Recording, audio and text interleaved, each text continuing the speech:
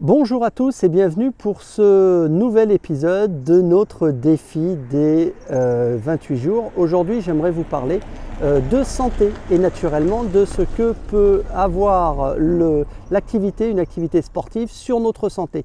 Comme par exemple pratiquer un tout petit peu de marche. Alors c'est euh, une marche qui n'est pas une marche forcée naturellement, hein. c'est une marche dite de promenade, euh, quelques minutes chaque jour. Ça peut véritablement changer beaucoup de choses sur votre physiologie.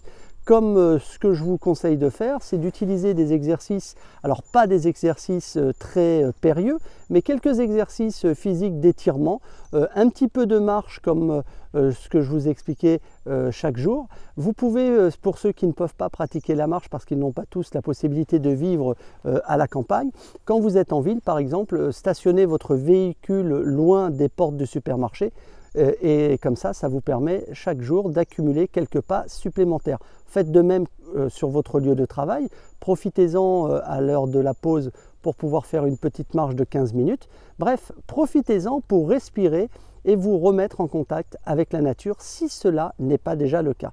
Pour ma part, moi j'ai choisi régulièrement euh, de profiter chaque matin d'un petit peu euh, d'exercice puisque euh, j'ai la chance de pouvoir habiter à la campagne et d'amener mon petit garçon directement à son bus en marchant. Alors bien évidemment quand il pleut ou quand il fait très très froid, j'en profite pour l'amener en voiture. Mais le plus souvent, c'est vraiment en marchant et c'est très agréable. Ce que j'ai remarqué, eh c'était les effets bénéfiques de la marche. J'ai une meilleure respiration, je me sens beaucoup mieux et surtout, tenez-vous bien, j'ai réussi à perdre du poids.